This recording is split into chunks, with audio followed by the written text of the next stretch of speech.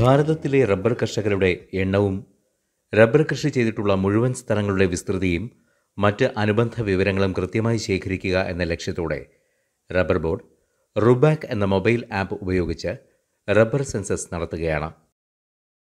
പ്രിയപ്പെട്ട സുഹൃത്തുക്കളെ അടുത്ത കാലത്തായിട്ട് റബ്ബർ ബോർഡ് തുടങ്ങി വെച്ച കർമ്മപരിപാടികളിൽ വച്ച് ഏറ്റവും പ്രധാനപ്പെട്ട ഒരെണ്ണമാണ് ഇപ്പോൾ നടക്കുന്ന റബ്ബർ സെൻസസ്. രാജ്യത്ത് സ്വാഭാവിക റബ്ബറിനെ സംബന്ധിച്ചുള്ള സ്ഥിതി വിവര കണക്കുകളെല്ലാം റബ്ബർ ബോർഡാണ് തയ്യാറാക്കുന്നത്.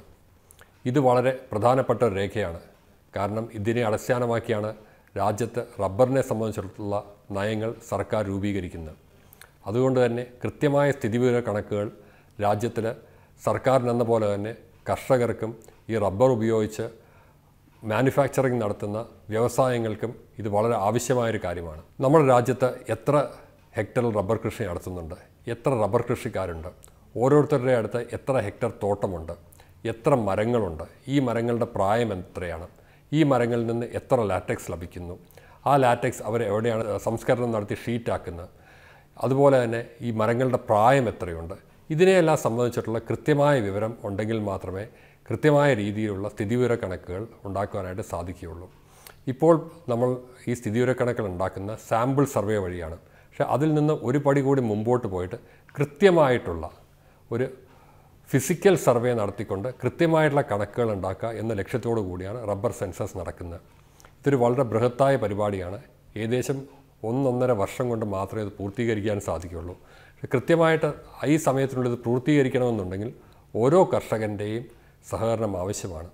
ഈ ഒരു കാര്യം നടത്തുന്ന റബ്ബർ സമൂഹത്തിന് അതായത് കർഷകരും സർക്കാരും വ്യവസായികളും എല്ലാം അടങ്ങുന്ന റബ്ബർ സമൂഹത്തിന്റെ നന്മയ്ക്ക് വേണ്ടിയാണെന്ന് മനസ്സിലായിക്കൊണ്ട് എല്ലാവരുടെയും സഹകരണം പ്രതീക്ഷിച്ചുകൊണ്ട് ഈ ഒരു പരിപാടി നിങ്ങളുടെ മുമ്പിലേക്ക് കാഴ്ചവെക്കുന്നു. നന്ദി നമസ്കാരം. പ്രകൃതിദത്ത റബ്ബറിനെ സംബന്ധിച്ച് ഏതൊരു പദ്ധതിയും വിഭാവനം ചെയ്യുന്നതിനും നടപ്പിലാക്കുന്നതിനും ഈ വിവരങ്ങൾ അത്യന്താപേക്ഷിതമാണ്. റബ്ബർ തൈ നട്ട് ഏകദേശം ആറേഴ് വർഷത്തിനു ശേഷം മാത്രമേ ഉൽപാദനക്ഷമമാകുകയുള്ളൂ എന്നതിനാൽ തന്നെ പദ്ധതികൾ ആസൂത്രണം ചെയ്യുമ്പോൾ ഇത്തരം വിവരങ്ങളുടെ പ്രസക്തി എടുത്തു പറയേണ്ടതില്ലല്ലോ. റബ്ബർ കൃഷിയുടെ വിസ്തൃതി ഉൽപാദനം കൃഷി ചെയ്ത വർഷം കൃഷി ചെയ്തിട്ടുള്ള ഇനങ്ങൾ ടാപ്പിംഗ് ടാപ്പർമാർ തുടങ്ങിയവ സംബന്ധിച്ച അടിസ്ഥാന രേഖകൾ തയ്യാറാക്കുന്നത് സെൻസസിലൂടെ ലഭിക്കുന്ന ഡേറ്റ വിശകലനം ചെയ്താണ്. റബ്ബർ വ്യാവസായിക പ്രാധാന്യമുള്ള ഒരു വസ്തുവാണ്. നാൽപ്പത്തി അയ്യായിരത്തിലധികം ഉൽപ്പന്നങ്ങൾ റബ്ബർ എന്ന അസംസ്കൃത വസ്തുവിൽ നിന്നും നിർമ്മിക്കുന്നു. ഇന്ത്യയിൽ ആവശ്യത്തിനുള്ള സ്വാഭാവിക റബ്ബർ ഇവിടെ തന്നെ ഉൽപ്പാദിക്കപ്പെട്ടില്ല എങ്കിൽ മറ്റ് റബ്ബർ ഉൽപ്പാദക രാജ്യങ്ങളിൽ നിന്നും ഇറക്കുമതി ചെയ്യേണ്ടതായി വരും. ഇത് വർദ്ധിച്ച തോതിലുള്ള വിദേശ നാണ്യ വിനിമയത്തിന് കാരണമാകും.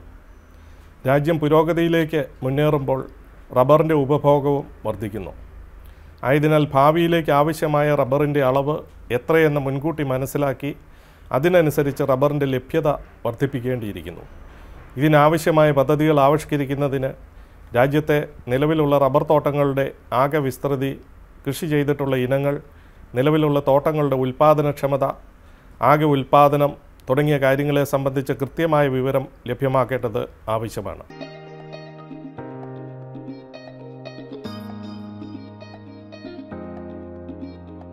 റബ്ബർ കൃഷിയുടെ സുസ്ഥിരതയ്ക്ക് വേണ്ടിയുള്ള ആസൂത്രണങ്ങൾക്ക് റബ്ബർ മേഖലയെ സംബന്ധിച്ച കൃത്യമായ സ്ഥിതിവിവര കണക്കുകൾ ആവശ്യമാണ്.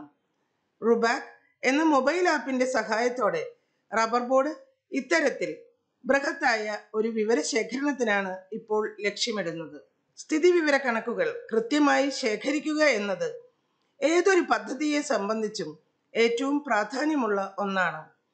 കർഷകനെ നേരിട്ട് കണ്ട് വിവരങ്ങൾ ശേഖരിക്കേണ്ട ചുമതല ഇതിനായി നിയോഗിച്ചിരിക്കുന്ന എന്യൂമറേറ്റർമാർക്കാണ് അതിനാൽ തന്നെ റബ്ബർ കൃഷി സെൻസസിന് ഉപയോഗിക്കുന്ന മൊബൈൽ ആപ്പ് ആപ്പ് ഉപയോഗിക്കേണ്ട വിധം തുടങ്ങിയ കാര്യങ്ങളെക്കുറിച്ചെല്ലാം കൃത്യമായ അറിവ് എന്യൂമറേറ്റർമാർക്ക് ഉണ്ടായിരിക്കണം. ഈ കൂടി റബ്ബർ ബോർഡ് വിശദമായ ഒരു പഠന വീഡിയോ തയ്യാറാക്കിയിരിക്കുകയാണ്. ഈ വീഡിയോ കണ്ട് റബ്ബർ സെൻസസ് സംബന്ധിച്ച മുഴുവൻ കാര്യങ്ങളും കൃത്യമായി മനസ്സിലാക്കി ഏറ്റവും ആത്മാർത്ഥതയോടെ സെൻസസ് വിവരശേഖരണം നടത്തണമെന്ന് ഓരോ എന്യൂമറേറ്റർമാരെയും ഓർമ്മിപ്പിച്ചുകൊള്ളുന്നു. സെൻസസുമായി ബന്ധപ്പെട്ട അടിസ്ഥാന വിവരശേഖരണം എങ്ങനെയെന്ന് വിശദീകരിക്കാം. റബ്ബർ കൃഷി ചെയ്യുന്ന വ്യക്തികളുടെ വീടുകളിൽ പോയി അവരെ സന്ദർശിച്ച് വിവരങ്ങൾ ശേഖരിക്കേണ്ടതാണ്. സെൻസസിന്റെ വിജയത്തിന് ശ്രദ്ധിക്കേണ്ട ഏറ്റവും പ്രധാനപ്പെട്ട കാര്യം ഒരു തോട്ടം ഉടമയും സെൻസസിൽ ഉൾപ്പെടാതെ വിട്ടുപോകരുത് എന്നതാണ്. ഇതിനായി രാജ്യത്തെ എല്ലാ വീടുകളെയും പൗരന്മാരെയും ഉൾപ്പെടുത്തിയുള്ള അടിസ്ഥാന രേഖയായ വാർഡ് അടിസ്ഥാനത്തിലുള്ള വോട്ടർ പട്ടികയാണ് നാം ഉപയോഗിക്കുന്നത്. വോട്ടർ പട്ടികയിൽ ഒരു വാർഡിലെ എല്ലാ വീടുകളും ഓരോ വീട്ടിലുമുള്ള സമ്മതിദായകരുടെ പേരും ചേർത്തിട്ടുണ്ടാകും. സെൻസസിന്റെ ഭാഗമായുള്ള ഭവന സന്ദർശനത്തിലൂടെ ഓരോ വീട്ടിലും താമസിക്കുന്ന വ്യക്തികളുടെ സ്വന്തം പേരിൽ ആധാർ പ്രകാരം രജിസ്റ്റർ ചെയ്തിട്ടുള്ള റബ്ബർ കൃഷിയുടെ വിശദ വിവരങ്ങൾ ശേഖരിക്കേണ്ടതാണ്. ചില ഭവനങ്ങളിൽ വോട്ടർ പട്ടികയിൽ പേരില്ലാത്ത പതിനെട്ട് വയസ്സിന് താഴെയുള്ളതോ മറ്റു കാരണങ്ങളാൽ പേര് ചേർക്കാത്തതോ ആയ വ്യക്തികളുടെ പേരിലും രജിസ്റ്റർ ചെയ്തിട്ടുള്ള തോട്ടങ്ങൾ ഉണ്ടാകാം. ഇങ്ങനെയുള്ളവരുടെ റബ്ബർ കൃഷിയെ സംബന്ധിച്ച വിവരങ്ങളും നാം ശേഖരിക്കേണ്ടതാണ്. സെൻസസിലൂടെ ശേഖരിക്കുന്ന വിവരങ്ങൾ ക്രോഡീകരിക്കുന്നത് സംസ്ഥാനം ജില്ല താലൂക്ക് വില്ലേജ് എന്നീ റവന്യൂ ഡിവിഷനുകളെ അടിസ്ഥാനമാക്കിയാണ്. അതായത് വില്ലേജുകളാണ് സെൻസസ് രേഖകളുടെ അടിസ്ഥാന യൂണിറ്റ്. പക്ഷേ വില്ലേജ് അടിസ്ഥാനത്തിലുള്ള വോട്ടർ പട്ടികയോ മറ്റ് രേഖകളോ ലഭ്യമല്ലാത്തതിനാൽ ആ വില്ലേജ് ഉൾപ്പെടുന്ന പഞ്ചായത്തുകൾ തിട്ടപ്പെടുത്തുകയും ആ പഞ്ചായത്തുകളിലെ ഏതൊക്കെ വാർഡുകൾ ആ വില്ലേജിൽ ഉൾപ്പെടുന്നുവോ ആ വാർഡുകളുടെ മുഴുവൻ ഭാഗങ്ങളുടെയും വോട്ടർ പട്ടിക ഉപയോഗിച്ച് പൂർണമായ വിവരശേഖരണം നടത്തുകയും ചെയ്യേണ്ടതാണ്. ഭാരതത്തിൽ എവിടെയെങ്കിലും സ്വന്തം പേരിൽ ആധാരപ്രകാരം രജിസ്റ്റർ ചെയ്തിട്ടുള്ള റബ്ബർ തോട്ടമുള്ള വ്യക്തിയെയാണ് റബ്ബർ കർഷകൻ എന്നതുകൊണ്ട് നാം വിവക്ഷിക്കുന്നത്. ഭവന സന്ദർശനം നടത്തി വോട്ടർ പട്ടിക ഉപയോഗിച്ച് റബ്ബർ കൃഷിയെ സംബന്ധിച്ച വിവരശേഖരണം നടത്തുമ്പോൾ ശ്രദ്ധിക്കേണ്ടതായ ഏതാനും ചില കാര്യങ്ങളുണ്ട്. അവ ഇവയാണ്. എന്യൂമറേറ്റേഴ്സ് അവരവർക്ക് റബ്ബർ ബോർഡ് എക്സ്റ്റൻഷൻ ഓഫീസർ അധികാരപ്പെടുത്തി തന്നിട്ടുള്ള വാർഡ് അഥവാ വാർഡുകളിൽ നിന്നും മാത്രമേ വിവരശേഖരണം നടത്താവൂ. ആ പ്രദേശത്തെ റബ്ബർ ഉൽപ്പാദക സംഘം അഥവാ ആർ പി എസ് ഭാരവാഹിയും റബ്ബർ ബോർഡ് എക്സ്റ്റൻഷൻ ഓഫീസറും ചർച്ച ചെയ്ത ഏതെങ്കിലും ഒരു പ്രത്യേക പ്രദേശത്തെ വീടുകൾ എന്യൂമറേഷൻ വർക്കിൽ നിന്നും ഒഴിവാക്കപ്പെട്ടിട്ടുണ്ടെങ്കിൽ അവിടെ സെൻസസ് നടത്തേണ്ടതില്ല. എല്ലാ ദിവസവും റബ്ബർ ഉൽപ്പാദക സംഘം പ്രസിഡന്റും റബ്ബർ ബോർഡ് എക്സ്റ്റൻഷൻ ഓഫീസറും സാക്ഷ്യപ്പെടുത്തിയിട്ടുള്ള തിരിച്ചറിയൽ രേഖയുമായി വേണം എന്യൂമറേറ്റർ ഭവന സന്ദർശനം നടത്താൻ. എന്യൂമറേറ്ററിന് നിർദ്ദേശിക്കപ്പെട്ടിട്ടുള്ള വാർഡിന്റെ വോട്ടർ പട്ടിക നിർബന്ധമായും എല്ലാ ദിവസവും കൊണ്ടുപോവുകയും ആ വാർഡിലെ ഒഴിവാക്കപ്പെട്ടിട്ടുള്ള ഏതെങ്കിലും വീടുകൾ ഉണ്ടെങ്കിൽ അതൊഴികെയുള്ള എല്ലാ ഭവനങ്ങളും സന്ദർശിച്ച് റബ്ബർ കൃഷി ഇല്ലെങ്കിൽ നോ റബ്ബർ എന്നും ഉണ്ടെങ്കിൽ വോട്ടർ പട്ടികയിൽ കാണുന്ന ചതുരക്കളത്തിൽ കോണായി വെട്ടി മാർക്ക് ചെയ്യുകയും വേണം. ഇങ്ങനെ മാർക്ക് ചെയ്ത ഭവനാംഗങ്ങളുടെ വിവരശേഖരണം പൂർത്തിയാക്കിയതിനു ശേഷമേ അടുത്ത ഭവനത്തിൽ നിന്നും ഡേറ്റ കളക്ട് ചെയ്യാവൂ. വോട്ടർ പട്ടികയിൽ ഉൾപ്പെടുത്താത്തതും ആധാരപ്രകാരം സ്വന്തം പേരിൽ രജിസ്റ്റർ ചെയ്തിട്ടുള്ളതുമായ റബ്ബർ കൃഷിയുള്ള മറ്റു വ്യക്തികൾ ഒരു ഭവനത്തിലുണ്ടെങ്കിൽ അവർക്ക് ഇന്ത്യയിൽ മറ്റെവിടെയും വോട്ടവകാശമില്ലെന്ന് ഉറപ്പുവരുത്തിയതിനു ശേഷം ആ വീട്ടിലെ കുടുംബനാഥന്റെ അല്ലെങ്കിൽ കുടുംബനാഥയുടെ പേരിലുള്ള വോട്ടർ പട്ടികയുടെ കളത്തിൽ പേരുകൾ എഴുതി ചേർത്ത് അവരുടെ വിവരങ്ങളും ശേഖരിക്കേണ്ടതാണ്. ഈ എന്യൂമറേറ്റർ ഒന്നിലധികം വാർഡുകളിൽ എന്യൂമറേഷൻ വർക്കിനായി നിയോഗിക്കപ്പെടുകയും ആ വാർഡുകൾ ഒരേ റോഡിന്റെ ഇരുവശങ്ങളിലോ സമീപത്തോ ആണെങ്കിൽ ഒരേ ദിവസം തന്നെ ഈ രണ്ട് വാർഡുകളിലെയും വിവരശേഖരണം നടത്താവുന്നതാണ്. അങ്ങനെ വരുമ്പോൾ ആ രണ്ട് വാർഡുകളുടെയും വോട്ടർ പട്ടിക കയ്യിൽ കരുതുകയും അതാത് വോട്ടർ പട്ടികയിൽ കൃത്യമായി മാർക്ക് ചെയ്തു പോവുകയും വേണം. റെക്കോർഡിന്റെ എണ്ണത്തിന് അനുസരിച്ചാണ് എന്യൂമറേറ്ററിനുള്ള വേതനം നിശ്ചയിക്കപ്പെടുന്നത്. അതിനാൽ തന്നെ ഒരു റെക്കോർഡ് എന്താണെന്ന് പറയാം. ഒരു റബ്ബർ കർഷകന് ഒരു വില്ലേജിൽ തന്നെ വ്യത്യസ്ത കൃഷിയിടങ്ങൾ ഉണ്ടാവുക അല്ലെങ്കിൽ ഒരേ സ്ഥലത്ത് വ്യത്യസ്ത വർഷങ്ങളിൽ കൃഷി ഉണ്ടാവുക അതുമല്ലെങ്കിൽ വ്യത്യസ്ത ഇനം റബ്ബർ കൃഷി ചെയ്യപ്പെടുക തുടങ്ങിയ വിവരങ്ങളെല്ലാം ചേരുമ്പോഴാണ് ഒരു റെക്കോർഡാകുന്നത്. അതേ കർഷകന് തന്നെ ഭാരതത്തിൽ മറ്റേതെങ്കിലും സംസ്ഥാനങ്ങളിലോ ജില്ലയിലോ താലൂക്കിലോ വില്ലേജിലോ റബ്ബർ കൃഷി ഉണ്ടെങ്കിൽ അങ്ങനെ ശേഖരിക്കപ്പെടുന്ന വിവരങ്ങൾ ഓരോന്നും മറ്റ് റെക്കോർഡുകളായി മാറുന്നു. ഒരു കർഷകന് നാം സെൻസസ് നടത്തുന്ന വില്ലേജിൽ റബ്ബർ കൃഷി ഇല്ലാതിരിക്കുകയും മറ്റൊരു വില്ലേജിലോ മറ്റൊരു ജില്ലയിലോ മറ്റൊരു സംസ്ഥാനത്തോ റബ്ബർ കൃഷി ഉണ്ടാവുകയും ചെയ്യാം. ഇങ്ങനെയുള്ള വിവരങ്ങൾ ശേഖരിക്കുമ്പോൾ അവയും മറ്റ് റെക്കോർഡുകളായി മാറുന്നു. ഒരു ഭവനത്തിൽ ചിലപ്പോഴെങ്കിലും ഭവനാംഗമാണെങ്കിലും വോട്ടവകാശം ഭാരതത്തിൽ മറ്റെവിടെയെങ്കിലും ആകാം. അങ്ങനെയുള്ള വ്യക്തികൾക്ക് സ്വന്തം പേരിൽ രജിസ്റ്റർ ചെയ്തിട്ടുള്ള റബ്ബർ തോട്ടമുണ്ടെങ്കിൽ സെൻസസിൽ നിന്നും ഒഴിവാക്കപ്പെട്ടിട്ടുള്ള വാർഡുകളിൽ അല്ല വോട്ടവകാശമെങ്കിൽ അവരുടെ വിവരശേഖരണം നടത്തേണ്ടത് അവരവരുൾപ്പെടുന്ന വാർഡിലെ സെൻസസ് ജോലിക്കായി നിയോഗിക്കപ്പെട്ടിട്ടുള്ള എന്യൂമറേറ്റേഴ്സാണ് ഈ സെൻസസിൽ നിന്നും ഒഴിവാക്കിയിരിക്കുന്ന സ്ഥലങ്ങൾ ഏതെല്ലാമാണെന്ന് വിശദീകരിക്കാം. ആലപ്പുഴ വയനാട് ഇടുക്കി എന്നീ ജില്ലകളിലെ റബ്ബർ കൃഷി ഇല്ലാത്ത പഞ്ചായത്തുകൾ മറ്റ് ജില്ലകളിൽ തീരദേശത്തുള്ള റബ്ബർ കൃഷി ഇല്ലാത്ത പഞ്ചായത്തുകൾ തിരുവനന്തപുരം കൊല്ലം എറണാകുളം തൃശൂർ കോഴിക്കോട് കണ്ണൂർ മുതലായ കോർപ്പറേഷനുകൾ ജില്ലാ ആസ്ഥാനങ്ങളായ പത്തനംതിട്ട കോട്ടയം പാലക്കാട് മലപ്പുറം കാസർഗോഡ് മുനിസിപ്പാലിറ്റികൾ ഈ ഒഴിവാക്കപ്പെട്ടിട്ടുള്ള സ്ഥലങ്ങളിൽ താമസിക്കുന്ന കൃഷിക്കാരുടെ ഉടമസ്ഥതയിലുള്ള സ്ഥലത്തിന്റെ വിവരശേഖരണവും നാം നടത്തേണ്ടതായുണ്ട്. സെൻസസ് നടത്തുന്ന വാർഡിനകത്ത് സെൻസസ് നടത്താത്ത വാർഡിലെ താമസക്കാരന്റെ ഉടമസ്ഥതയിലുള്ള റബ്ബർ തോട്ടങ്ങളുടെ വിവരങ്ങൾ ചിലപ്പോൾ ആ വീട്ടുകാരുടെ ബന്ധുക്കളിൽ നിന്നും പരിചയക്കാരിൽ നിന്നും ലഭ്യമാകും. ഇങ്ങനെയുള്ള വിവരങ്ങൾ എന്യൂമറേറ്റർ കയ്യിൽ കരുതുന്ന നോട്ട്ബുക്കിൽ രേഖപ്പെടുത്തേണ്ടതാണ്. ഇങ്ങനെ ശേഖരിക്കപ്പെടുന്ന വിവരങ്ങൾ എക്സ്റ്റൻഷൻ ഓഫീസറുടെയും ഉൽപ്പാദക സംഘം ഡയറക്ടർ ബോർഡിന്റെയും നേതൃത്വത്തിൽ വിശദമായ ചർച്ച നടത്തി കോൺടാക്ട് ഡീറ്റെയിൽസ് ലഭ്യമാണെങ്കിൽ മൊബൈൽ ഫോണിൽ ബന്ധപ്പെട്ടും ശേഖരിച്ച വിവരങ്ങളെ ക്രോഡീകരിക്കാവുന്നതാണ്. ഒരു വ്യക്തിയുടെ റബ്ബർ തോട്ടത്തിന്റെ വിസ്തൃതി പത്ത് സെന്റിൽ കുറവോ ഇരുപത് ഹെക്ടറിൽ കൂടുതലോ ആണെങ്കിൽ ആ വ്യക്തിയുടെ റബ്ബർ കൃഷിയെ സംബന്ധിച്ച വിവരങ്ങൾ സെൻസസിൽ ഉൾപ്പെടുത്തേണ്ടതില്ല. Mobile application authentication. നാം സെൻസസിന് ഉപയോഗിക്കുന്ന മൊബൈൽ ആപ്ലിക്കേഷന്റെ പേരാണ് റുബാക് റബ്ബർ സെൻസസ് വിവരശേഖരണത്തിന് ഉപയോഗിക്കുന്ന റുബാക് എന്ന മൊബൈൽ ആപ്പ്. എങ്ങനെ ഇൻസ്റ്റാൾ ചെയ്ത് ഉപയോഗിക്കാമെന്ന് ഇവിടെ വിശദീകരിക്കാം. റുബാക്കിന്റെ ഇൻസ്റ്റാൾ വേർഷനായ എ പി കെ ഫയൽ നിങ്ങൾക്ക് ഷെയർ ചെയ്ത് കിട്ടിയാൽ ആ എ പി കെ ഇൻസ്റ്റാൾ ചെയ്ത് കഴിയുമ്പോൾ നിങ്ങൾക്ക് ഒരു റുബാക്ക് എന്നുള്ള ഐക്കോൺ മൊബൈലിൽ തെളിഞ്ഞു വരുന്നതാണ്. ഈ ഐക്കോൺ ഒന്നുകൂടി ക്ലിക്ക് ചെയ്ത് ഓപ്പൺ ചെയ്യുമ്പോൾ നിങ്ങൾക്ക് രജിസ്റ്റർ ചെയ്യാനുള്ള ഒരു ലൈൻ ലോഗിൻ എന്നുള്ള ആ ബട്ടണിന് താഴത്തായിട്ട് കിട്ടുന്നതാണ്. ഇത് എങ്ങനെ തുടർന്ന് ഉപയോഗിക്കാമെന്ന് നമുക്ക് നോക്കാം. ഈ ആപ്ലിക്കേഷൻ ഇൻസ്റ്റാൾ ചെയ്തതിന് ശേഷം ആപ്പിന്റെ ഐക്കണിൽ ഒന്ന് ക്ലിക്ക് ചെയ്യുക. നിങ്ങളുടെ അക്കൗണ്ടിലേക്ക് ലോഗിൻ ചെയ്യാനുള്ള സ്റ്റെപ്സ് വിശദീകരിക്കാം. എന്റർ ഇവർ മൊബൈൽ എന്ന് കാണുന്നിടത്ത് നിങ്ങളുടെ പത്തക്കമുള്ള മൊബൈൽ നമ്പർ ടൈപ്പ് ചെയ്യുക. അതിനുശേഷം സെൻഡ് ഒ എന്ന ബട്ടൺ ക്ലിക്ക് ചെയ്യുക. ഇപ്പോൾ നാലക്കമുള്ള ഒരു ഒ ലഭിക്കും. നിങ്ങൾ ഈ ഒ ടി പി അടുത്ത സ്ക്രീനിൽ പ്രൊവൈഡ് ചെയ്ത സ്പേസിൽ എന്റർ ചെയ്ത ശേഷം വെരിഫൈ ബട്ടൺ ക്ലിക്ക് ചെയ്യുക. ഒ ടി പി വരാൻ താമസമുണ്ടെങ്കിൽ resend O T P click ചെയ്യുക. Latest O T P enter ചെയ്യുക. അതിനുശേഷം വരുന്ന സ്ക്രീനിൽ നെയിം എന്റർ ചെയ്യുക. നിങ്ങളുടെ മൊബൈൽ നമ്പർ അവിടെ ഓട്ടോമാറ്റിക്കലി ഡിസ്പ്ലേ ആകും. ഡേറ്റ് ഓഫ് ബർത്ത് എന്റർ ചെയ്യുക. ജെൻഡർ സെലക്ട് ചെയ്യുക. അതിനുശേഷം നിങ്ങളുടെ അഡ്രസ്സ് എന്റർ ചെയ്യുക. ബാങ്ക് അക്കൗണ്ട് ഐ കോഡ് ഇവയെല്ലാം എന്റർ ചെയ്യുക.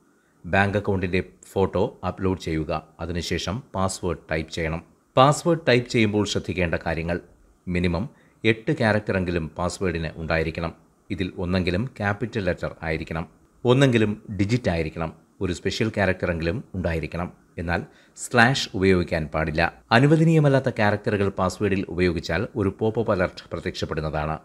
ഇങ്ങനെ ഒരു പാസ്വേഡ് ടൈപ്പ് ചെയ്തതിന് ശേഷം കൺഫേം പാസ്വേഡ് എന്ന സ്പേസിൽ അതേ പാസ്വേഡ് വീണ്ടും ടൈപ്പ് ചെയ്യുക. ശേഷം സബ്മിറ്റ് ബട്ടൺ ക്ലിക്ക് ചെയ്യുക. പ്രൊഫൈൽ രജിസ്റ്റേർഡ് സക്സസ്ഫുള്ളി എന്ന മെസ്സേജ് ഇതിനുശേഷം വരുന്നതാണ്. നിങ്ങളുടെ എക്സ്റ്റൻഷൻ ഓഫീസറിനെ ഈ വിവരം അറിയിക്കുക. അപ്പോൾ എക്സ്റ്റൻഷൻ ഓഫീസർ നിങ്ങളുടെ മൊബൈൽ നമ്പർ ഓതന്റിക്കേറ്റ് ചെയ്യുകയും നിങ്ങളെ നിയോഗിക്കപ്പെട്ടിട്ടുള്ള വില്ലേജ് പഞ്ചായത്ത് വാർഡുകൾ എന്നിവ നിശ്ചയിച്ചു തരികയും ചെയ്യും. നാം സെൻസസിന് ഉപയോഗിക്കുന്ന മൊബൈൽ ആപ്ലിക്കേഷന്റെ പേരാണ് റുബാക്ക് ഈ ആപ്ലിക്കേഷൻ ഇൻസ്റ്റാൾ ചെയ്തതിന് ശേഷം ആപ്പിന്റെ ഐക്കണിൽ ക്ലിക്ക് ചെയ്യുമ്പോൾ മൊബൈൽ ആപ്പ് തുറന്നു വരുന്നു.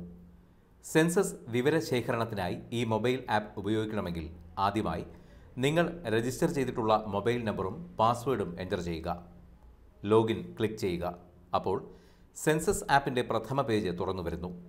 ഇപ്പോൾ കാണുന്ന സ്ക്രീനിന്റെ മുകളിൽ മധ്യഭാഗത്തായി മൊബൈൽ ആപ്പിന്റെ പേരായ റുബാക്ക് എന്നെഴുതിയിരിക്കുന്നത് ശ്രദ്ധിക്കുക. മുകളിൽ ഇടതുവശത്ത് മൊബൈൽ ആപ്പിന്റെ വെർഷൻ രേഖപ്പെടുത്തിയിരിക്കുന്നു. ഉദാഹരണത്തിന് ഇപ്പോൾ ഉപയോഗിക്കുന്ന വെർഷൻ ആണ് one point zero point twelve. മുകളിൽ വലതുവശത്തായി മൂന്ന് ചെറിയ വരകൾ കാണാം. ഇവിടെ ക്ലിക്ക് ചെയ്താൽ ഒരു പോപ്പപ്പ് തുറന്നു വരും അത്യാവശ്യ സന്ദർഭങ്ങളിൽ മാത്രം ഇതിൽ കാണുന്ന ലോഗൌട്ട് ക്ലിക്ക് ചെയ്താൽ are you sure you want to logout എന്ന അലർട്ട് പ്രത്യക്ഷപ്പെടും. യെസ് ക്ലിക്ക് ചെയ്താൽ ആപ്പിൽ നിന്ന് പുറത്തു പോകാനാകും. ശ്രദ്ധിക്കുക ഏറ്റവും അത്യാവശ്യ സന്ദർഭങ്ങളിൽ മാത്രമേ ലോഗൌട്ട് ചെയ്യാവൂ. ഇതിനുള്ള കാരണം പിന്നീട് വിശദമാക്കാം. അടുത്തതായി ഈ സ്ക്രീനിൽ കാണുന്ന മൂന്ന് ഐക്കണുകളെയും അതിന്റെ ഉപയോഗത്തെയും കുറിച്ച് വിശദമാക്കാം. Sync data.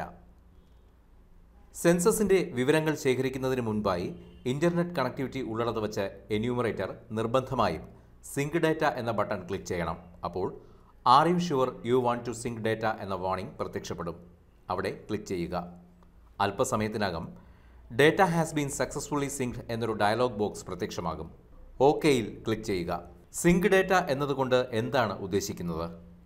റുബാക്ക് ആപ്ലിക്കേഷന്റെ മെയിൻ സെർവറിൽ സൂക്ഷിച്ചിരിക്കുന്ന സംസ്ഥാനങ്ങളുടെയും ലോക്കൽ ബോഡികളുടെയും പേരുകളും മറ്റ് വിവരങ്ങളും മൊബൈൽ ആപ്ലിക്കേഷൻ ഉപയോഗിക്കുമ്പോൾ സെലക്റ്റായി വരണമെങ്കിൽ സിങ്ക് ഡേറ്റ ബട്ടൺ ക്ലിക്ക് ചെയ്യണം. അതായത് സെൻസസ് വഴി വിവരങ്ങൾ ശേഖരിക്കുന്നതിന്റെ ആദ്യ പടിയാണ് ഇന്റർനെറ്റ് കണക്ഷൻ ഉള്ളിടത്ത് വെച്ച് സിങ്ക് ഡേറ്റ ക്ലിക്ക് ചെയ്യുക എന്നുള്ളത്. മൈ ഡാറ്റ ഒരു എന്യൂമറേറ്ററിന് അയാൾ അപ്ലോഡ് ചെയ്ത ഡാറ്റയുടെ ഒരു ചുരുക്കരൂപം മൈ ഡാറ്റ എന്ന ഓപ്ഷൻ ക്ലിക്ക് ചെയ്താൽ കാണാനാകും. അതായത് കളക്ട് ചെയ്ത് അപ്ലോഡ് ചെയ്ത ഡാറ്റയുടെ റെക്കോർഡ് നമ്പർ കർഷകന്റെ പേര് മൊബൈൽ നമ്പർ അഡ്രസ് കൃഷിയിടം സ്ഥിതി ചെയ്യുന്ന സംസ്ഥാനം ജില്ല എന്നിവ നമുക്ക് കാണാം.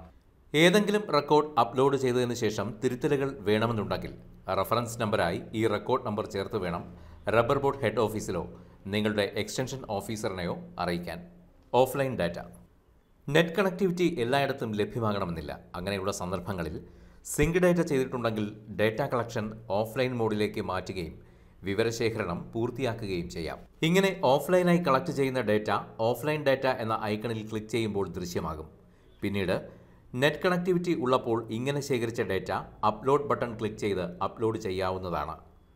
ഇവിടെ ശ്രദ്ധിക്കുക ഓഫ്ലൈനിൽ ഡേറ്റ ശേഖരിക്കുകയും അപ്ലോഡ് ചെയ്യാതിരിക്കുകയും ചെയ്യുന്ന സാഹചര്യത്തിൽ ലോഗൌട്ട് ബട്ടൺ ക്ലിക്ക് ചെയ്താൽ ഓഫ്ലൈനായി കളക്ട് ചെയ്ത് സൂക്ഷിച്ചിരിക്കുന്ന ഡേറ്റ മുഴുവനും നഷ്ടപ്പെടുന്നതാണ്. ഓഫ്ലൈനിൽ കളക്ട് ചെയ്ത ഡേറ്റ ഓരോന്നായി അപ്ലോഡ് ചെയ്യുവാൻ പറ്റുകയില്ല. ബൾക്കായി മാത്രമേ അപ്ലോഡ് ആവുകയുള്ളൂ. Collect data.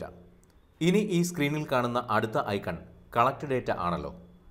സെൻസസ് ആരംഭിക്കുന്നത് കളക്ട് ഡേറ്റ എന്ന ഐക്കണിൽ ക്ലിക്ക് ചെയ്യുമ്പോഴാണ്. തുടർന്ന് വരുന്ന സ്ക്രീനിൽ മുകളിൽ വലതുവശത്ത് കാണുന്ന പ്ലസ് എന്ന ചിഹ്നം ക്ലിക്ക് ചെയ്യുക. തുടർന്ന് വരുന്ന സ്ക്രീനിൽ മുകളിൽ അഞ്ച് സ്റ്റെപ്പുകൾ കാണാം. ഇപ്പോൾ സ്റ്റെപ്പ് ഒന്ന് ഡാർക്ക് ഗ്രീനിൽ രേഖപ്പെടുത്തിയത് ശ്രദ്ധിക്കൂ. സ്റ്റെപ്പ് ഒന്നിൽ നാം റബ്ബർ കർഷകനെ സംബന്ധിച്ചുള്ള അടിസ്ഥാന വിവരങ്ങൾ ശേഖരിക്കുന്നു. കർഷകന്റെ പേര് രേഖപ്പെടുത്തുമ്പോൾ ശ്രദ്ധിക്കേണ്ടതായ ഏതാനും കാര്യങ്ങളാണ് ഇനി പറയുന്നത്. പേരുകൾ തമ്മിൽ വേർതിരിക്കാൻ സ്പേസ് മാത്രം ഉപയോഗിക്കുക. മറ്റ് ക്യാരക്ടറുകൾ ഒന്നും ഉപയോഗിക്കരുത്. ഉടമസ്ഥൻ നിര്യാതനായ വ്യക്തിയാണെങ്കിൽ പേരിന് ശേഷം സ്പേസ് ഇട്ട് ലേറ്റ് എന്ന് ടൈപ്പ് ചെയ്യുക. ഒരേ റബ്ബർ തോട്ടം ഒന്നിലധികം വ്യക്തികളുടെ പേരിൽ ഒന്നിച്ച് രജിസ്റ്റർ ചെയ്തിട്ടുള്ളതാണെങ്കിൽ ഓരോരുത്തരുടെയും പേരുകൾക്ക് ശേഷം ആൻഡ് എന്ന് ടൈപ്പ് ചെയ്തുകൊണ്ട് മറ്റ് വ്യക്തികളുടെ പേരുകൾ ചേർക്കുക.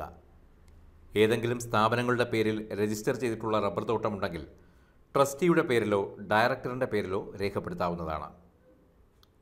വസ്തു ലീസ് ഉടമ്പടി പ്രകാരം മറ്റൊരു വ്യക്തിക്ക് കൊടുത്തിട്ടുണ്ടെങ്കിലും വസ്തു ആരുടെ പേരിലാണോ ആധാരപ്രകാരം രജിസ്റ്റർ ചെയ്തിട്ടുള്ളത് ആ വ്യക്തിയുടെ പേരാണ് രേഖപ്പെടുത്തേണ്ടത്. അഡ്രസ്. കർഷകന്റെ അഡ്രസ്സാണ് അടുത്തതായി രേഖപ്പെടുത്തേണ്ടത്. വീട്ടുപേര് അഥവാ flat number postal address pin code സഹിതം ടൈപ്പ് ചെയ്യുക. കർഷകന്റെ ഹൗസ് നമ്പർ എന്റർ ചെയ്യുക. വോട്ടർ പട്ടികയിൽ ഉള്ളതും വീടിന്മേൽ രേഖപ്പെടുത്തിയതുമായ ഹൗസ് നമ്പരും ആ വീട്ടിലെ വ്യക്തികളും ഒന്നുതന്നെയെന്ന് ഉറപ്പുവരുത്തുക. തുടർന്ന് കർഷകന്റെ state district taluk village local body ward എന്നിവ സെലക്ട് ചെയ്യുക. കർഷകന്റെ മൊബൈൽ നമ്പർ. പത്തക്കമുള്ള മൊബൈൽ നമ്പർ ടൈപ്പ് ചെയ്യുക. ഒരു കർഷകന് ലാൻഡ് ലൈൻ മാത്രമേ ഉള്ളുവെങ്കിൽ എസ് ടി ഡി കോഡിന്റെ മുൻപിലുള്ള പൂജ്യം ഒഴിവാക്കി പത്ത് ഡിജിറ്റ് നമ്പർ ടൈപ്പ് ചെയ്താൽ മതി. ഒരു കർഷകന് സ്വന്തമായി മൊബൈൽ നമ്പർ ഇല്ലെങ്കിൽ കുടുംബാംഗങ്ങളിൽ ആർക്കെങ്കിലും മൊബൈൽ നമ്പർ ഉണ്ടെങ്കിൽ അത് ചോദിച്ച് മനസ്സിലാക്കി എന്റർ ചെയ്യുക. Year of birth. കർഷകൻ ജനിച്ച വർഷം മനസ്സിലാക്കിയതിന് ശേഷം അദ്ദേഹത്തിന്റെ ജനനവർഷം അതിനായി കൊടുത്തിട്ടുള്ള സ്പേസിൽ എന്റർ ചെയ്ത് കൊടുത്തിട്ട് ആ ഇയറിൽ ക്ലിക്ക് ചെയ്യുക. ജെൻഡർ കർഷകൻ പുരുഷൻ ആണെങ്കിൽ മെയിൽ സെലക്ട് ചെയ്യുക സ്ത്രീ ആണെങ്കിൽ ഫീമെയിൽ സെലക്ട് ചെയ്യുക. കാറ്റഗറി കർഷകൻ പട്ടികജാതിയിൽപ്പെട്ട വ്യക്തിയാണെങ്കിൽ എസ് സി എന്നും പട്ടിക വർഗത്തിൽപ്പെട്ടതാണെങ്കിൽ എസ് ടി എന്നും മറ്റേതെങ്കിലും വിഭാഗത്തിൽപ്പെട്ടതാണെങ്കിൽ ജനറൽ എന്നും സെലക്ട് ചെയ്യുക. ക്യാപ്ചർ ഫോട്ടോ അവസാനമായി ഈ സ്റ്റെപ്പിൽ ക്യാപ്ചർ ഫോട്ടോ എന്ന ഓപ്ഷൻ കാണാൻ കഴിയും. കർഷകന്റെ ലൊക്കേഷൻ കൃത്യമായി ലഭ്യമാകുന്നതിന് വേണ്ടിയാണ് ഇത്. ഇവിടെ ശ്രദ്ധിക്കുക ഫോട്ടോ ക്യാപ്ചർ ആവണമെങ്കിൽ നിർബന്ധമായും ഫോണിൽ files and media access allow ചെയ്യണം. G P S location on ആയിരിക്കണം. ഗൂഗിൾ മാപ്പ് ഇൻസ്റ്റാൾ ചെയ്തിട്ടുണ്ടായിരിക്കണം. ക്യാമറ ഐക്കൺ കാണുന്നിടത്ത് ക്ലിക്ക് ചെയ്യുക. ലൊക്കേഷൻ ചുറ്റുപാടിൽ എവിടെയെങ്കിലും ഫോക്കസ് ചെയ്ത് ഒരു ഫോട്ടോ എടുക്കുക. ഓക്കെ അല്ലെങ്കിൽ ടിക്ക് മാർക്കിൽ ക്ലിക്ക് ചെയ്യുക. തുടർന്ന് വരുന്ന ജി പി എസ് ആവറേജിന്റെ താഴെയുള്ള ഗെറ്റ് അപ്രോക്സിമേറ്റ് ലൊക്കേഷൻ എന്ന ഓപ്ഷൻ സെലക്ട് ചെയ്യുക. ഓക്കെ ക്ലിക്ക് ചെയ്യുക. അപ്പോൾ ജി പി എസ് ലൊക്കേഷനായ ലാറ്റിറ്റ്യൂഡ് ലോഞ്ചിറ്റ്യൂഡ് അതിന്റെ ആക്യുറസിയോടൊപ്പം ഓട്ടോമാറ്റിക്കലി പ്രത്യക്ഷപ്പെടുന്നു. നെക്സ്റ്റ് ബട്ടൺ ക്ലിക്ക് ചെയ്യുക. ഇതുവരെ നിങ്ങൾ ശേഖരിച്ച വിവരങ്ങൾ ഇപ്പോൾ കാണാം. എല്ലാം ശരിയാണെന്ന് ഉറപ്പാക്കിയ ശേഷം പ്രൊസീഡ് ബട്ടൺ ക്ലിക്ക് ചെയ്യുക. അല്ലെങ്കിൽ ക്യാൻസൽ ബട്ടൺ ക്ലിക്ക് ചെയ്ത് തെറ്റ് തിരുത്തിയതിന് ശേഷം മാത്രം പ്രൊസീഡ് ചെയ്യുക. ഇപ്പോൾ സ്റ്റെപ്പ് ഒന്ന് കംപ്ലീറ്റ് ആയി. മുകളിൽ സ്റ്റെപ്പ് ഒന്നിൽ ടിക്ക് മാർക്ക് ഇട്ടതായി കാണാം. സ്റ്റെപ്പ് ടു ഡാർക്ക് ഗ്രീനിൽ രേഖപ്പെടുത്തിയിരിക്കുന്നത് ശ്രദ്ധിക്കുക. ഈ സ്റ്റെപ്പിൽ കർഷകന്റെ റബ്ബർ കൃഷിയിടത്തെ സംബന്ധിച്ച അടിസ്ഥാന വിവരങ്ങൾ ശേഖരിക്കുന്നു. കർഷകൻ സ്ഥലത്തില്ലാതിരിക്കുകയും അദ്ദേഹത്തിന്റെ റബ്ബർ കൃഷി സംബന്ധിച്ച വിവരങ്ങൾ മറ്റൊരാളിൽ നിന്നോ കോൺട്രാക്റ്റ് കൊടുത്തിട്ടുള്ള വ്യക്തിയിൽ നിന്നോ ലീസിന് എടുത്തിരിക്കുന്ന വ്യക്തിയിൽ നിന്നോ ആണ് ശേഖരിക്കുന്നത് എങ്കിൽ ഓണർ ആബ്സെന്റ് എന്നുള്ള സ്ക്വയർ ബോക്സ് ക്ലിക്ക് ചെയ്യുക. അപ്പോൾ വിവരം ശേഖരിക്കുന്നത് ആരിൽ നിന്നാണോ?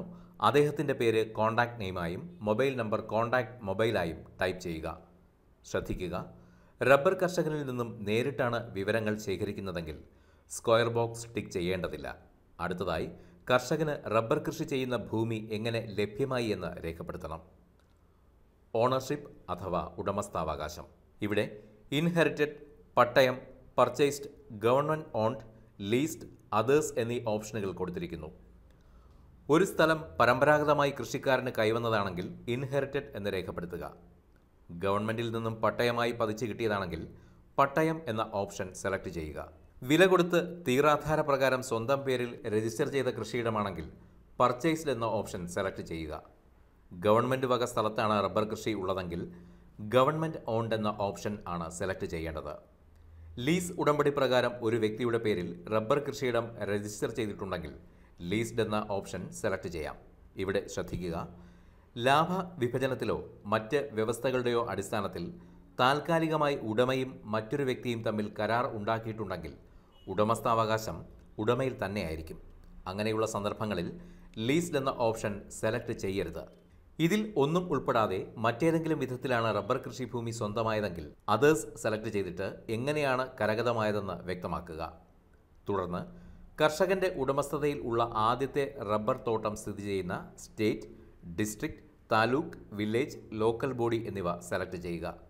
ശ്രദ്ധിക്കുക സിങ്ക് ചെയ്തിട്ടുണ്ടെങ്കിൽ മാത്രമേ ഇവ സെലക്ട് ചെയ്യാൻ സാധിക്കുകയുള്ളൂ. അടുത്തതായി ലാൻഡ്മാർക്ക് എന്ന ഓപ്ഷൻ കാണാം. ഇവിടെ റബ്ബർ തോട്ടം സ്ഥിതി ചെയ്യുന്ന സ്ഥലത്തേക്ക് എത്തിച്ചേരാൻ സഹായിക്കുന്ന ഏതെങ്കിലും ഒരു അടയാളം രേഖപ്പെടുത്തുക. ഉദാഹരണത്തിന് one kilometre from government L P school. ഇതിനുശേഷം നെക്സ്റ്റ് ബട്ടൺ ക്ലിക്ക് ചെയ്യുക. ഇപ്പോൾ സ്റ്റെപ്പ് ടൂവിൽ രേഖപ്പെടുത്തിയ വിവരങ്ങളുടെ ഒരു പ്രിവ്യൂ ലഭ്യമാകുന്നു. രേഖപ്പെടുത്തിയ വിവരങ്ങൾ ശരിയാണെന്ന് തിട്ടപ്പെടുത്തിയതിന് ശേഷം മാത്രം പ്രൊസീഡ് ചെയ്യുക. അല്ലെങ്കിൽ ക്യാൻസൽ ബട്ടൺ പ്രസ് ചെയ്ത് സ്റ്റെപ്പ് രണ്ടിൽ ശരിയായ വിവരങ്ങൾ രേഖപ്പെടുത്തിയതിന് ശേഷം മാത്രം പ്രൊസീഡ് ചെയ്യുക. ശ്രദ്ധിക്കുക സ്റ്റെപ്പ് ടു പൂർത്തിയായതിന്റെ സൂചനയായി സ്റ്റെപ്പ് ടുവിൽ ടിക്ക് മാർക്ക് രേഖപ്പെടുത്തിയിരിക്കുന്നു. സ്റ്റെപ്പ് ത്രീയിൽ റബ്ബർ കർഷകന്റെ റബ്ബർ കൃഷിയിടങ്ങളുടെ വിസ്തൃതിയും മരങ്ങളുടെ എണ്ണവും മറ്റ് അനുബന്ധ വിവരങ്ങളുമാണ് ശേഖരിക്കുന്നത്. അതീവ ശ്രദ്ധയോടെ വേണം സ്റ്റെപ്പ് ത്രീയിലെ വിവരങ്ങൾ ശേഖരിക്കാൻ. Planting year. ഇവിടെ റബ്ബർ തൈകൾ വച്ച വർഷം രേഖപ്പെടുത്തണം. ഏരിയ. പ്ലാന്റിംഗ് ഇയറിൽ രേഖപ്പെടുത്തിയിരിക്കുന്ന വർഷം വച്ചിട്ടുള്ള റബ്ബർ തോട്ടത്തിന്റെ വിസ്തൃതി കർഷകനോട് ചോദിച്ച് മനസ്സിലാക്കിയതിനു ശേഷം ആ നമ്പർ തന്നെ ഏരിയയുടെ സ്പേസിൽ രേഖപ്പെടുത്തുക. അതിനുശേഷം സെലക്ട് യൂണിറ്റ് എന്നിടത്ത് അദ്ദേഹം പറഞ്ഞ യൂണിറ്റ് തന്നെ കൃത്യമായി സെലക്ട് ചെയ്യുക.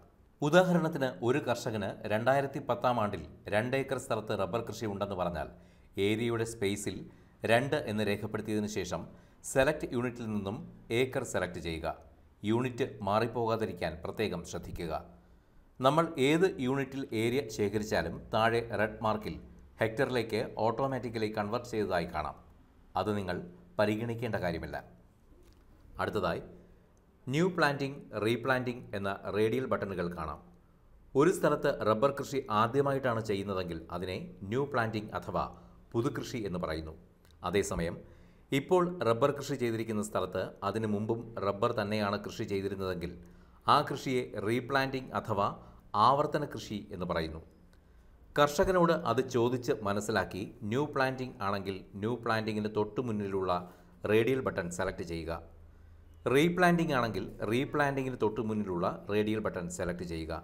അടുത്തതായി ക്ലോൺസ് ആണ് സെലക്ട് ചെയ്യേണ്ടത്. അതായത് ഏതിനത്തിൽപ്പെട്ട റബ്ബർ തൈകളാണ് ഈ പ്ലാന്റിംഗ് ഇയേഴ്സിൽ വച്ചിരിക്കുന്നത് എന്ന് കർഷകനോട് ചോദിച്ച് മനസ്സിലാക്കിയതിന് ശേഷം ക്ലോൺ ലിസ്റ്റിൽ നിന്നും ആ ഇനം സെലക്ട് ചെയ്യുക. ഇവിടെ ക്ലോണിനെ സംബന്ധിച്ച ഏതാനും ചില കാര്യങ്ങൾ ശ്രദ്ധയിൽപ്പെടുത്താം.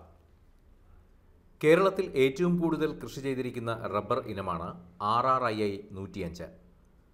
കർഷകൻ വച്ചിരിക്കുന്ന റബ്ബർ ഇനം നൂറ്റിയഞ്ചാണെന്ന് പറഞ്ഞാൽ ക്ലോൺ ലിസ്റ്റിൽ നിന്നും ആർ ആർ ഐ ഐ നൂറ്റിയഞ്ചാണ് സെലക്ട് ചെയ്യേണ്ടത്. Rubber research institute of India വികസിപ്പിച്ചെടുത്ത റബ്ബർ ഇനമാണ് ആർ ആർ ഐ ഐ നൂറ്റിയഞ്ച്. രണ്ടായിരത്തി അഞ്ചിലാണ് റബ്ബർ റിസർച്ച് ഇൻസ്റ്റിറ്റ്യൂട്ട് ഓഫ് ഇന്ത്യയുടെ ആർ ആർ ഐ ഐ നാനൂറ് സീരീസ് ഓഫ് ക്ലോൺസ് റിലീസ് ചെയ്തത്. എന്നതിനാൽ തന്നെ അതിനു മുമ്പുള്ള വർഷങ്ങളിൽ ഒരു കർഷകനും ആർ ആർ ഐ ഐ നാനൂറ്റി പതിനാല് നാനൂറ്റി പതിനേഴ് നാനൂറ്റി ഇരുപത്തിരണ്ട് നാനൂറ്റി ഇരുപത്തി ഒൻപത് നാനൂറ്റി മുപ്പത് എന്നീ ഇനങ്ങൾ കൃഷി ചെയ്തിട്ടുണ്ടാവുകയില്ല എന്ന കാര്യം ശ്രദ്ധിക്കുക. അതുകൊണ്ട് കർഷകരിൽ നിന്ന് തന്നെ ഏതിനം റബ്ബർ തൈകളാണ് അതാത് വർഷങ്ങളിൽ നട്ടിരിക്കുന്നത് എന്ന് മനസ്സിലാക്കിയതിന് ശേഷം ക്ലോൺ ലിസ്റ്റിൽ നിന്നും അത് കൃത്യമായി സെലക്ട് ചെയ്യണം. അടുത്തതായി നമ്പർ ഓഫ് ട്രീസ് എന്ന ചോദ്യത്തിന് പ്ലാന്റിംഗ് ഇയറിൽ നട്ട ആകെ എത്ര റബ്ബർ മരങ്ങൾ സന്ദർശന സമയത്ത് നിലനിൽക്കുന്നുണ്ട് എന്നതാണ് രേഖപ്പെടുത്തേണ്ടത്. ടാപ്പബിൾ ഏരിയ ഒരു റബ്ബർ തൈ നട്ടിട്ട് ഏകദേശം ആറേഴ് വർഷം കഴിയുമ്പോഴാണ് അത് ടാപ്പ് ചെയ്യാൻ പക്വമാകുന്നത്. അതിനാൽ തന്നെ ടാപ്പ് ചെയ്യാൻ മരങ്ങൾ പാകമായിട്ടുണ്ടെങ്കിൽ ആ സ്ഥലത്തിന്റെ ഏരിയയാണ് ടാപ്പബിൾ ഏരിയ എന്നിടത്ത് രേഖപ്പെടുത്തേണ്ടത്. ടാപ്ഡ് ഏരിയ നിലവിൽ റബ്ബർ തോട്ടം ടാപ്പ് ചെയ്യുന്നുണ്ടെങ്കിൽ ടാപ്പ് ഡയറിയ ടൈപ്പ് ചെയ്യുകയും യൂണിറ്റ് കൃത്യമായി സെലക്ട് ചെയ്യുകയും വേണം.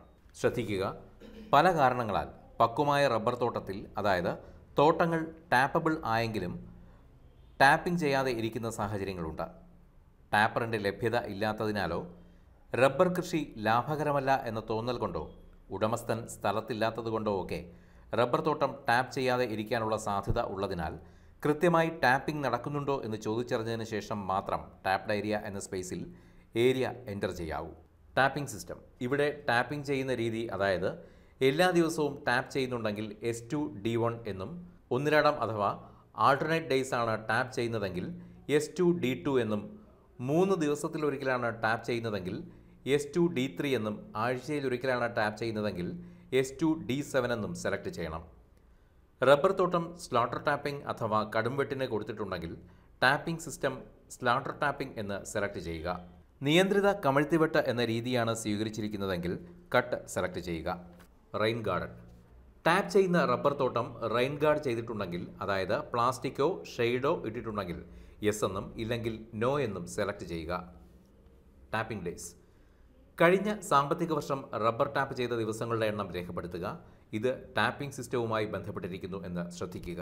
ഭാരതത്തിലെ മറ്റേതെങ്കിലും വില്ലേജിൽ കർഷകന് ഒരേ വില്ലേജിൽ തന്നെ പല വർഷങ്ങളിൽ വെച്ചതോ പല ഇനങ്ങൾ ഉപയോഗിച്ച് കൃഷി ചെയ്തതോ ആയ റബ്ബർ തോട്ടങ്ങൾ ഉണ്ടെങ്കിൽ ഓരോ വർഷത്തെയും ഓരോ ക്ലോണിനെയും സംബന്ധിച്ച വിവരങ്ങൾ ആഡ് മോർ ഡീറ്റെയിൽസ് എന്ന ഓപ്ഷനിൽ ക്ലിക്ക് ചെയ്ത് മുൻപ് എന്റർ ചെയ്തതുപോലെ തന്നെ ശേഖരിക്കേണ്ടതാണ്. ശ്രദ്ധിക്കുക ഇവിടെ കർഷകന് അയാൾ അധിവസിക്കുന്ന വില്ലേജിൽ റബ്ബർ കൃഷി ഇല്ലാതിരിക്കുകയും ഭാരതത്തിലെ മറ്റേതെങ്കിലും വില്ലേജിൽ റബ്ബർ കൃഷി ഉണ്ടാവുകയും ചെയ്താൽ ആ വിവരങ്ങൾ ആദ്യത്തെ വില്ലേജിന്റേതായി ശേഖരിക്കേണ്ടതാണ്. ഈ കർഷകന് ഈ വില്ലേജിൽ തന്നെ വീടിനോട് ചേർന്നോ അല്ലാതെയോ രണ്ടായിരത്തി പതിനെട്ടിൽ ഒരു ഹെക്ടർ സ്ഥലത്ത് ആവർത്തന കൃഷിയായി നാനൂറ്റി പതിനാല് ഇനത്തിൽപ്പെട്ട റബ്ബർ മരങ്ങൾ വച്ചിരിക്കുന്നു. ഇതേ കർഷകൻ ഇതേ വില്ലേജിൽ തന്നെ രണ്ടായിരത്തി പതിമൂന്നിൽ ഒന്നര ഏക്കർ സ്ഥലത്ത് റബ്ബർ കൃഷി ചെയ്തിട്ടുണ്ടെങ്കിലും ഈ മരങ്ങൾ മുഴുവനും ടാപ്പ് ചെയ്യാൻ യോഗ്യമായിട്ടുണ്ടെങ്കിലും പകുതി ഭാഗത്തെ മരങ്ങൾ മാത്രമേ ടാപ്പ് ചെയ്തു തുടങ്ങിയിട്ടുള്ളൂവെങ്കിൽ ടാപ്പബിൾ ഏരിയ എന്നിടത്ത് ഒന്നര ഏക്കർ എന്ന് രേഖപ്പെടുത്തുക. പക്ഷേ ടാപ്പ്ഡ് ഏരിയ എഴുപത്തഞ്ച് സെന്റ് മാത്രമേ ഉള്ളൂ എന്നത് പ്രത്യേകം ശ്രദ്ധിച്ച് രേഖപ്പെടുത്തുക. ഇതേ കർഷകന് രണ്ടായിരത്തി അഞ്ചിൽ ഇതേ വില്ലേജിൽ തന്നെ ഒന്നേ മുക്കാൽ ഹെക്ടർ സ്ഥലത്ത് റബ്ബർ കൃഷി ഉണ്ടെങ്കിലും ഒരു ഹെക്ടറിൽ മാത്രം ആർ ആർ ഐ ഐ നൂറ്റിയഞ്ചും ബാക്കിയുള്ള മുക്കാൽ ഹെക്ടർ ഭാഗത്ത് പി ബി ഇരുന്നൂറ്റി അറുപതുമാണ് വച്ചിരിക്കുന്നതെങ്കിൽ അത് കൃത്യമായി രേഖപ്പെടുത്തുക.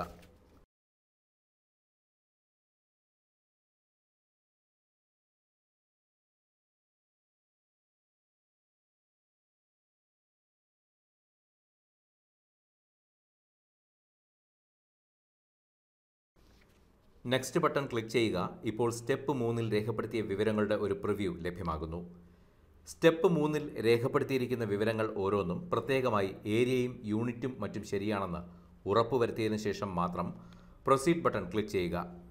ഏരിയയ്ക്ക് അനുസരിച്ചുള്ള യൂണിറ്റ് അല്ല സെലക്ട് ചെയ്തിരിക്കുന്നതെന്ന് ശ്രദ്ധയിൽപ്പെട്ടാൽ ക്യാൻസൽ ക്ലിക്ക് ചെയ്ത് ശരിയായ യൂണിറ്റ് സെലക്ട് ചെയ്തതിന് ശേഷം മാത്രം പ്രൊസീഡ് ചെയ്യുക.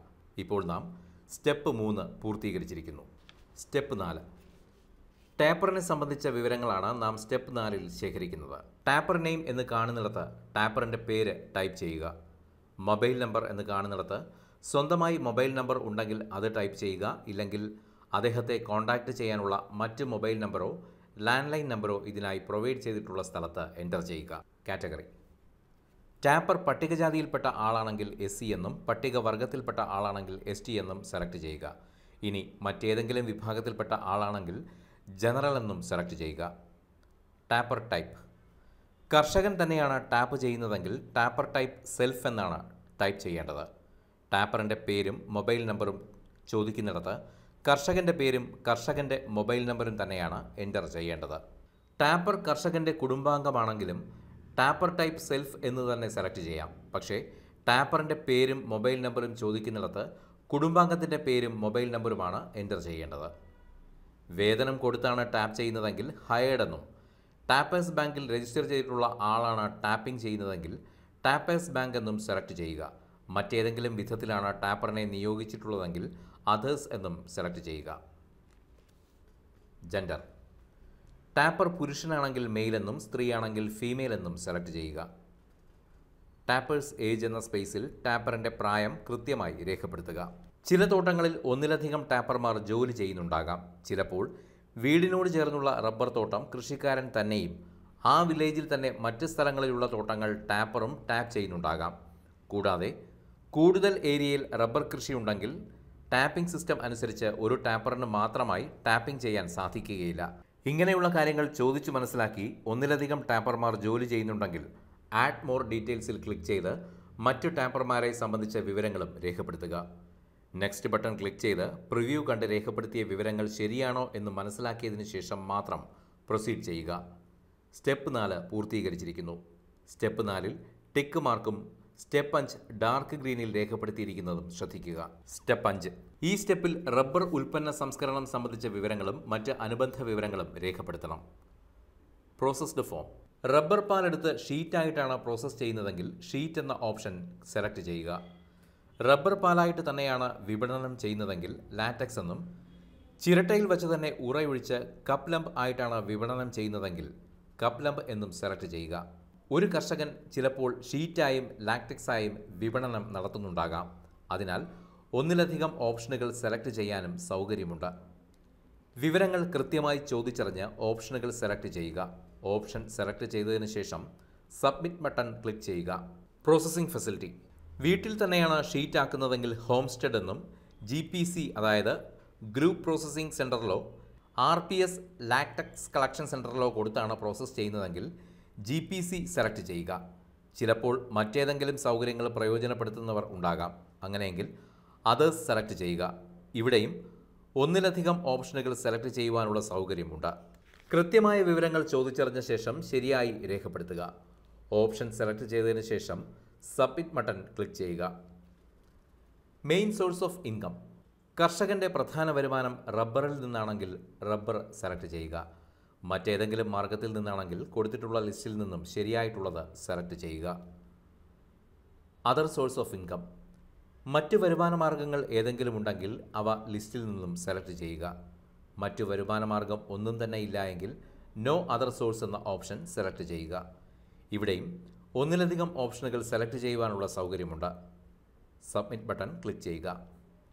R U A member of R P S R P S എന്നാൽ റബ്ബർ പ്രൊഡ്യൂസേഴ്സ് സൊസൈറ്റി അല്ലെങ്കിൽ റബ്ബർ ഉൽപ്പാദക സംഘം. കർഷകൻ ഏതെങ്കിലും റബ്ബർ ഉൽപ്പാദക സംഘത്തിൽ അംഗമാണെങ്കിൽ യെസ് ക്ലിക്ക് ചെയ്യുക അല്ലെങ്കിൽ നോ ക്ലിക്ക് ചെയ്യുക. അംഗമാണെങ്കിൽ name of the R P S എന്നിടത്ത് R P എസിന്റെ പേര് രേഖപ്പെടുത്തുക. Is registered in R P I S of government of Kerala അതായത് കേരള ഗവൺമെന്റിന്റെ റബ്ബർ പ്രൊഡക്ഷൻ ഇൻസെന്റീവ് സ്കീമിൽ രജിസ്റ്റർ ചെയ്തിട്ടുണ്ടോ എന്ന ചോദ്യത്തിന് മറുപടി ഉണ്ട് എന്നാണെങ്കിൽ യെസ് സെലക്ട് ചെയ്യുക. അല്ലെങ്കിൽ നോ സെലക്ട് ചെയ്യുക. പിന്നീട് രജിസ്ട്രേഷൻ നമ്പർ രേഖപ്പെടുത്തേണ്ടയിടത്ത് കർഷകനോട് ചോദിച്ച് അവരുടെ രജിസ്ട്രേഷൻ നമ്പർ രേഖപ്പെടുത്തുക. സബ്മിറ്റ് ബട്ടൺ ക്ലിക്ക് ചെയ്യുക. പ്രിവ്യൂ കണ്ട് ശരിയാണോ എന്ന് ഉറപ്പുവരുത്തിയതിന് ശേഷം പ്രൊസീഡ് ബട്ടൺ ക്ലിക്ക് ചെയ്യുക. അപ്പോൾ are you sure you want to upload this എന്ന മെസ്സേജ് വരും. അപ്പോൾ പ്രൊസീഡ് ക്ലിക്ക് ചെയ്താൽ നിങ്ങൾ ശേഖരിച്ച ഈ കർഷകന്റെ ഈ വില്ലേജിൽ നിന്നുള്ള എല്ലാ കൃഷിയിടങ്ങളുടെയും വിവരങ്ങൾ മെയിൻ സെർവറിലേക്ക് അപ്ലോഡ് ആവുകയും data has been successfully uploaded എന്ന മെസ്സേജ് ഡിസ്പ്ലേ ആവുകയും ചെയ്യും. ഇവിടെ നിങ്ങൾ കളക്ട് ചെയ്ത ഡേറ്റയുടെ റെക്കോർഡ് നമ്പർ കാണാം. അതിനുശേഷമുള്ള ഓക്കെ ബട്ടൺ ക്ലിക്ക് ചെയ്യുക. ആദ്യമേ പ്രതിപാദിച്ചതുപോലെ ഇപ്പോൾ കളക്ട് ചെയ്ത ഡേറ്റയുടെ ചുരുക്കരൂപം മൈ ഡേറ്റ എന്ന ഓപ്ഷനിൽ ക്ലിക്ക് ചെയ്താൽ പിന്നീട് നിങ്ങൾക്ക് കാണാവുന്നതാണ്. ഈ കർഷകന് രാജ്യത്ത് മറ്റേതെങ്കിലും വില്ലേജിൽ സ്വന്തം പേരിൽ ആധാരപ്രകാരം രജിസ്റ്റർ ചെയ്ത റബ്ബർ തോട്ടങ്ങൾ ഉണ്ടെങ്കിൽ does the grower has any other rubber plantation elsewhere എന്ന ചോദ്യത്തിന് യെസ് ക്ലിക്ക് ചെയ്ത് സ്റ്റെപ്പ് രണ്ട് തുടങ്ങിയിട്ടുള്ള വിവരങ്ങൾ ഒന്നൊന്നായി എന്റർ ചെയ്ത് റെക്കോർഡുകൾ കളക്ട് ചെയ്യാവുന്നതാണ്. മുൻപേ വിശദീകരിച്ചതുപോലെ സ്റ്റെപ്പ് അഞ്ച് വരെയുള്ള വിവരങ്ങൾ എന്റർ ചെയ്തതിന് ശേഷം are you sure you want to upload this എന്ന ചോദ്യത്തിന് പ്രൊസീഡ് ക്ലിക്ക് ചെയ്ത് അടുത്ത റെക്കോർഡിന്റെ വിവരങ്ങൾ അപ്ലോഡ് ചെയ്യാം. ഈ കർഷകന് രാജ്യത്ത് മറ്റെവിടെയും റബ്ബർ തോട്ടം ഇല്ല എന്ന് ഉറപ്പുവരുത്തിയതിനു ശേഷം നോ ക്ലിക്ക് ചെയ്ത് അടുത്ത കർഷകന്റെ വിവരശേഖരണം നടത്താവുന്നതാണ്. ഇപ്പോൾ ഒരു ഭവനത്തിലെ ഒരു കർഷകന്റെ പേരിലുള്ള റബ്ബർ തോട്ടത്തിന്റെ വിവരങ്ങളാണ് നാം ശേഖരിച്ചത്. വോട്ടർ പട്ടികയിൽ ഇദ്ദേഹത്തിന്റെ കളത്തിന് നേരെ മാർക്ക് ചെയ്യണമെന്ന കാര്യം ഓർക്കുമല്ലോ. ഇതേ ഭവനത്തിൽ തന്നെ വോട്ടർ പട്ടികയിൽ പേരുള്ളതോ അല്ലാത്തതോ ആയ ഏതെങ്കിലും വ്യക്തികളുടെ പേരിൽ ആധാരപ്രകാരം രജിസ്റ്റർ ചെയ്തിട്ടുള്ള തോട്ടങ്ങളുണ്ടെങ്കിൽ അവരുടെ റബ്ബർ തോട്ടങ്ങളുടെ വിവരശേഖരണവും മേൽ പറഞ്ഞതുപോലെ നടത്താവുന്നതാണ്. ശ്രദ്ധിക്കുക ഈ വാർഡിന്റെ വോട്ടർ പട്ടികയിൽ പേരില്ലാത്തവരുടെ ഡേറ്റ കളക്ട് ചെയ്യുമ്പോൾ ആ വ്യക്തിയുടെ പേര് ഭാരതത്തിലെ മറ്റൊരു വോട്ടർ പട്ടികയിലും ഇല്ലെന്ന് ഉറപ്പുവരുത്തേണ്ടതാണ്.